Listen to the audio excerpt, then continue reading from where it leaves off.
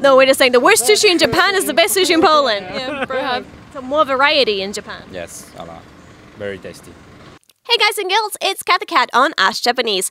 This time we went on the streets of Tokyo to ask the foreigners who have come here to compare Japanese food that they've tried in their country to Japanese food that they're trying here in Japan. What are the differences? How does it taste? Let's go and ask foreigners in Japan.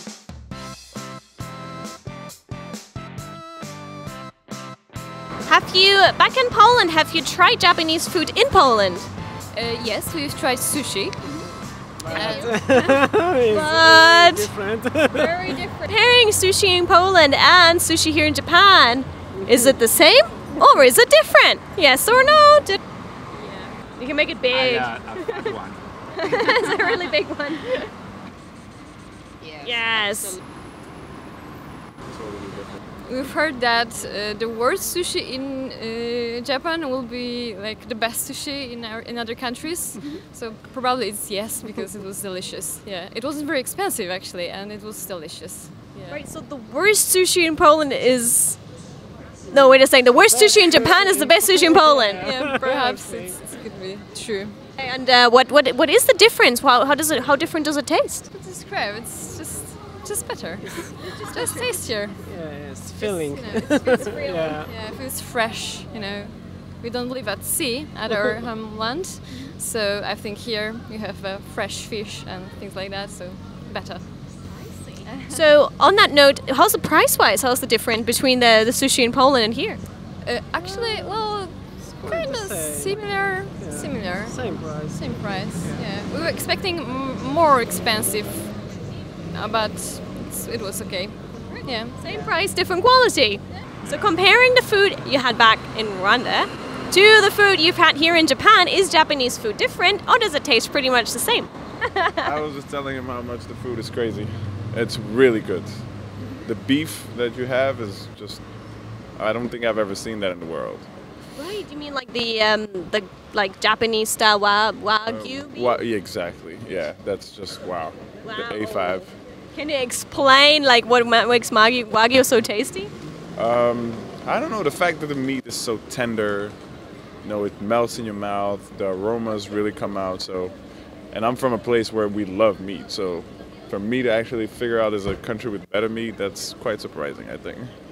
yeah, I heard like they massage the cows and all kinds of things to get it. I believe it. It's so tender that I was just shocked. I was like, how do they actually, you know, get this animal down?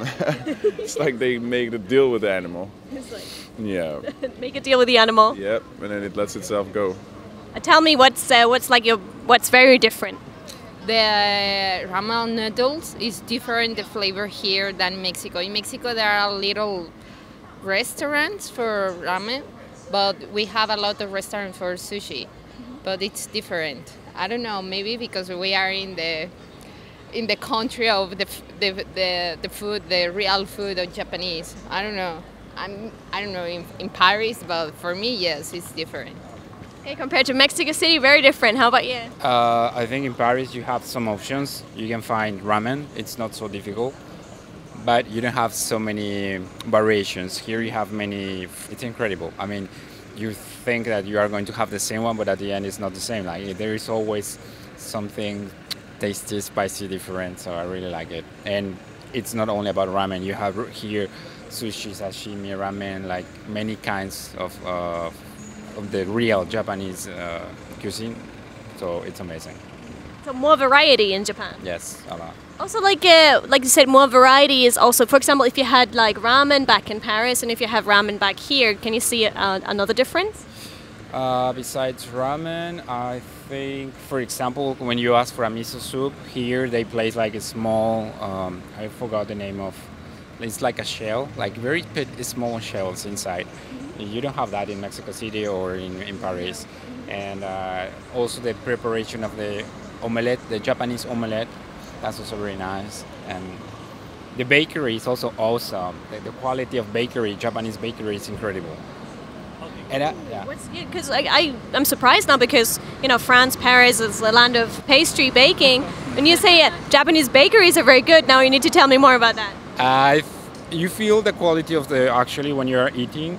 I, I guess there is something on the floor on the floor that is used for co- cooking, but there is there is something very soft. It's like don't laugh at me, but it's like biting like clouds. It's like it's very soft and it's really nice. I, I prefer here the bakery cookies and matcha cakes. Also, that's amazing. Right, That's true. Like many things are much more fluffy, right? Kind of fluffy and soft than fluffy and tasty. Sometimes you can find a bread fluffy, but more like plastic. When when you buy a very cheap one, there is no taste. But here, wow, like most of like the Japanese quality is very high.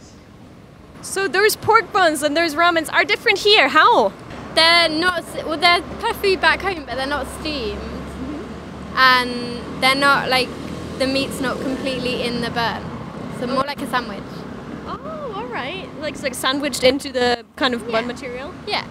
Uh, ramen, um, yeah, there's a few extra elements than what's back at home. Like, um, I think I found a boiled egg today in mine, different from back home. Um, uh, the the soup as well is slightly has more flavors to it, but yeah, that, that's probably the only sort of major comparison. Oh, and I had a cold ramen as well. That was a different. Right. Different. Don't have them back home. No, no, it's always been hot, but yeah, I've had a cold one as well, and it was it's an experience. So yeah.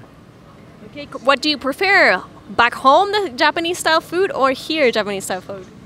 I prefer the pork buns back home. Oh, okay. That's that's good to know. Yeah. Why so? They're just really yummy. How about you? Uh, I probably prefer the food here. All right. Yeah, yeah, yeah. Um, again, yeah, just more flavors and such. The Japanese food that you experience at home, which is like just the sushi kind of like the basic thing, is it very different to the food that you tried, the ramen and such?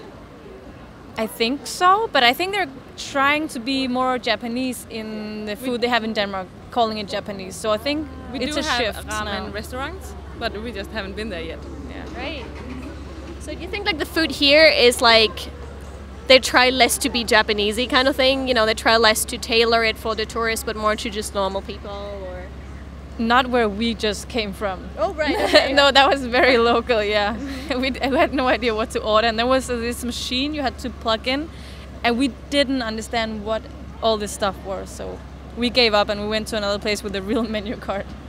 oh right, you couldn't understand the machines for like all the and we were like making a line behind us because we were so indecisive. But yeah, no, did the the staff not come and try and help you out? I, it was very local. I think like Yeah. Yeah. And it was busy. It was lunchtime. yeah, rush hour.